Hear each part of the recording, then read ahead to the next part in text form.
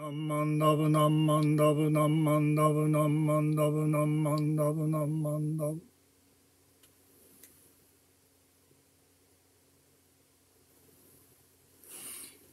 皆様こんにちは。平田門氏です。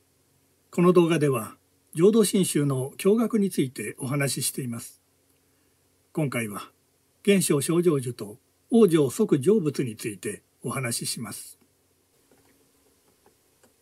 親鸞上人は現象症状樹と往生即成仏を説かれました。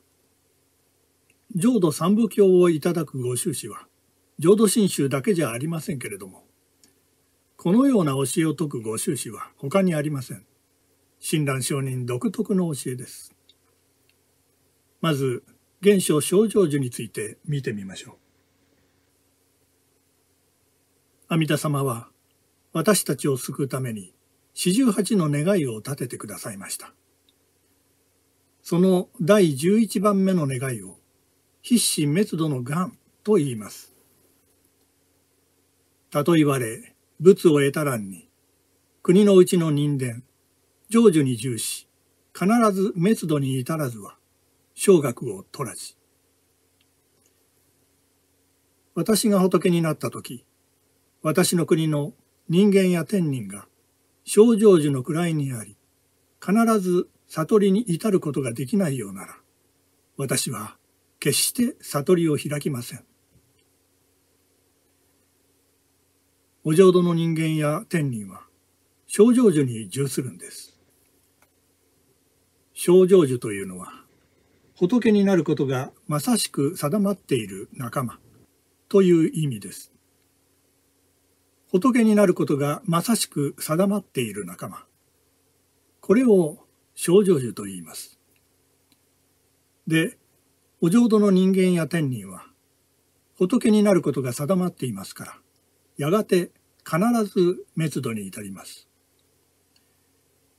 滅度というのは悟りのことです。つまり仏になるということです。ですから、お浄土に生まれたら仏になることが定まります。そして仏を目指して修行をします。この世と違ってお浄土は環境がいいですからね。難しい行もとても楽に収めることができるんです。そしていつか必ず仏になります。これが普通の理解の仕方です。ところが親鸞上人のご理解はこれとは異なるんです。国年して生まれんと願う人とまたすでに往生を得たる人もすなわち症状樹にいるなり。国念というのは強く思うという意味です。お浄土に生まれたいと強く願う人と、すでにお浄土に生まれた人は、共に症状樹の位につくと言われるんです。症状樹に従するのはお浄土に生まれた人だけじゃない。信心をいただいたら、この世で症状樹に従するんだ。親鸞上人は、このようにお了下されたんです。これを現象症状樹と言います。じゃあどうしてこのようにお了下されたんでしょうか？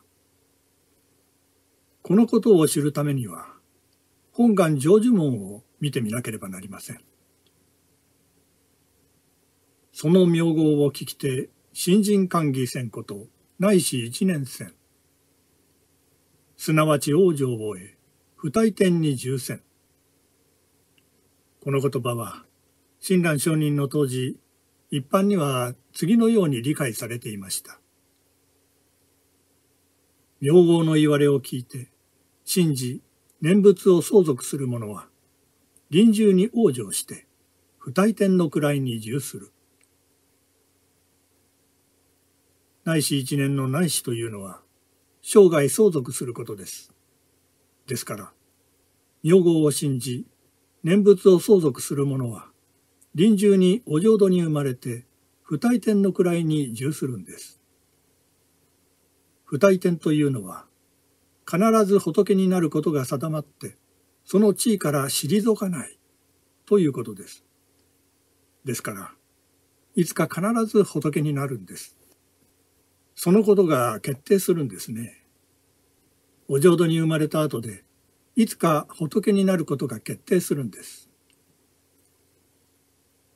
ところが親鸞上人はこの本願成就門についても従来とは異なった解釈をなさるんです。名号の言われを聞いて真を得て念仏を相続する者はその真の一年に往生すべき身と定まり不退転の位に従する。信心をいただいたらその時に往生が定まるんです。そして不退転に従する。必ず仏になることが定まって、その地位から退かない。つまり、症状樹に従するということです。症状樹は、仏になることがまさしく定まっている仲間という意味ですからね。この世ですでに症状樹の位に従するんです。これを現象症状樹と言います。親鸞上人はこのように理解されたんです。このことを親鸞上人はお手紙で次のようにおっしゃっています。信心の定まる時、往生また定まるなり。しかし、これだけでは、現象症状樹の根拠としては弱いですね。親鸞上人が本願成就門を強引に自分勝手に解釈したとも受け取られかねないですからね。実は親鸞上人は現象症状樹の根拠は他にあるんだと言われるんです。このようにおっしゃいます。真実信心の行人は摂取不捨のゆえに症状樹の位に重視。信心をいただいてお念仏する人は、摂取不捨の利益に預かるから、症状樹の位に従するんだ。つまり、仏になることが定まるんだ。こう言われるんです。つまり、現象症状樹の根拠は、本願成就門ではなくって、摂取不捨が根拠なんだと言われるんです。摂取不捨は、漢無量寿経に説かれています。光明返上実法世界、念仏主上摂取不捨。光明は、あまねく実法世界を照らし、念仏の主上を摂取して捨てたまわず。阿弥陀様は、信心をいただいてお念仏する者を収め取って、決してお見捨てになりません。ということは、収め取られたその時、往生が定まったということになりますね。往生が定まって不退転の位に従したんです。これが摂取不捨の摂取です。本願成就門と照らし合わせれば、それがわかります。不退転の位に従したということは、症状樹の位に入ったということです。この世で症状樹の位に入ったんですね。これを現象症状樹と言います。そしてお念仏を相続する者をお見捨てになりません。これが摂取不捨の不捨にあたります。こういう理由で親鸞上人は現象症状樹を説かれたんです。本願成就門を従来のように、名号の言われを聞いて信じ念仏を相続する者は、臨終に往生して不退転の位に従すると解釈してしまうと、漢無量寿教の念仏主上摂取不捨の教えとの間に矛盾が生じてしまいます。お念仏していても臨終まで摂取されないということになりますからね。一方、親鸞上人のように、名号の言われを聞いて、真を得て念仏を相続する者は、その真の一年に往生すべき身と定まり、不退転の位に従する。と解釈すれば、矛盾は生じません。真の一年に摂取されるんですからね。真の一年というのは、念仏をいただいた時という意味です。念仏をいただいた時に救われるんですから、まさに念仏史上摂取不捨です。お経というのは矛盾が生じないように読まないといけないんです。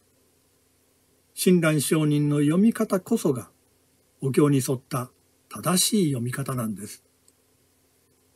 お釈迦様の見教えを正しくいただかれたということです。それでは続いて往生即成仏について見てみましょう。学者さんの中には親鸞上人は往生即成仏を説かれなかったと主張なさる方がいらっしゃいます。本当のところはどうなんでしょうかここのところはしっかりと確認しておかなければなりません。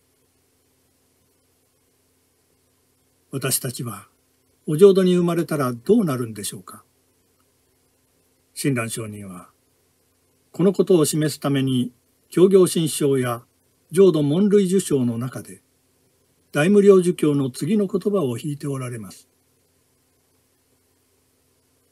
それ、もろもろの正門、菩薩、天、人、知恵巧妙にして、人数同脱せり、ことごとく同じく一類にして、形異常なし。ただ、予報に陰順するがゆえに、人伝の名あり。現貌誕生にして世に超えてけうなり。様式微妙にして天にあらず人にあらず。皆自念込むの心、無国の体を受けたるなり。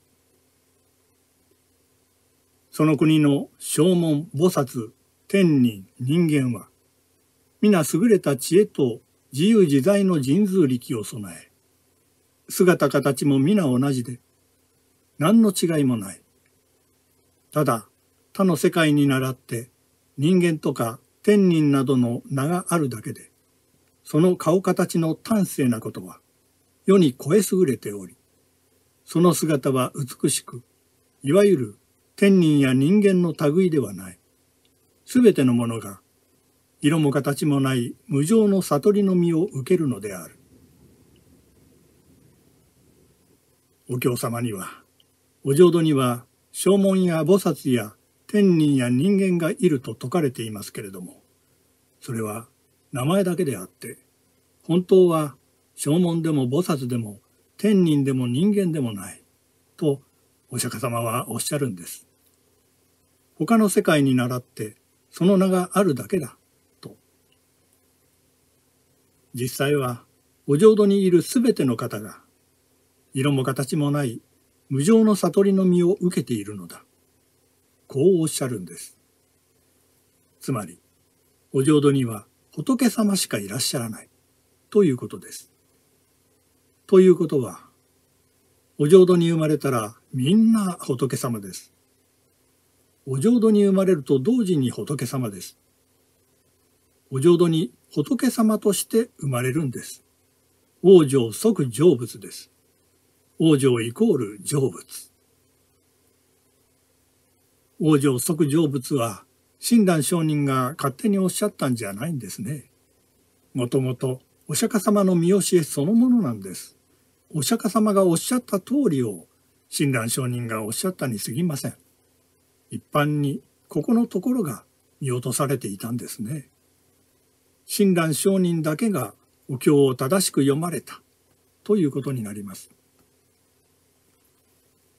それで親鸞上人は教行新章の神仏度門類で往生ということについて次のように定義されました。往生というは大教には海樹自念古無指針無国死体とのたまえり論には如来上化種小学家化粧と言えり。王女というのは大無量寿教にはすべてのものが色も形もない無常の悟りの妙を受けると説かれている。浄土論には浄土の症状の人々は皆阿弥陀仏の悟りの花から生まれると言われている。往生というのは色も形もない無常の悟りの実を受けることである。つまり、往生即成仏です。親鸞上人は往生即成仏を解かれなかったと主張される学者さんがいらっしゃいますけれども、それが間違いだということがわかります。親鸞上人は確かに往生即成仏を説かれていました。そして往生というのは阿弥陀仏の悟りの花から色形のある姿で生まれることである。お浄土には色形のない悟りそのものの姿とその悟りから色形を表した姿の二つの姿があるというのです。自念小虫心無極死体というのが色形のない悟りそのものの姿。正門や菩薩や天人や人間、そして蓮の花の上にお座りになっている仏様方が、色形のない悟りから色形を表した姿ということです。この色形を表した姿を黄門次元層と言います。お浄土には略門と黄門があって、色形のない悟りそのもののことを略門と言います。色形を表した姿を黄門と言います。黄門次元層というのは、略門が黄門の形を示し表した姿という意味です。ここでもう一度第十一願門を見てみましょう。たとえわれ、仏を得たらんに、国のうちの人伝、成就に重視し、必ず滅度に至らずは、小学を取らじ。国のうちの人伝成就に重視とあるのが症状樹のことですけれども、このお浄土の症状樹というのは、実は黄門次元層だったんです。色形のない悟りから色形を表した姿だったんです。親鸞上人は、現象とお浄土の二つの症状樹があるとおっしゃいましたけれども、現象症状樹が本当の症状樹であって、お浄土の症状樹は肛門次元層だったんですね。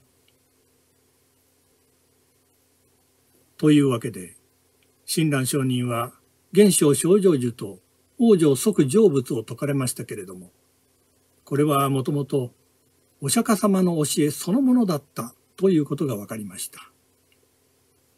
親鸞上人が自分勝手なことをおっしゃったんじゃないんですね。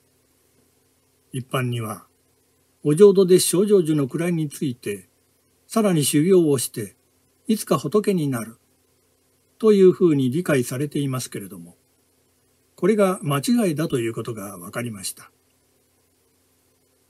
親鸞上人は、お釈迦様の見教えを深く正しく受け取られた方だということがよく分かりましたね。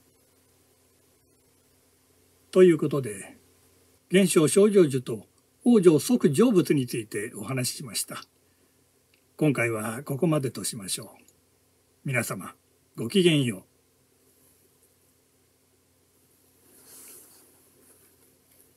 何万ダブ何万ダブ何万ダブ何万ダブ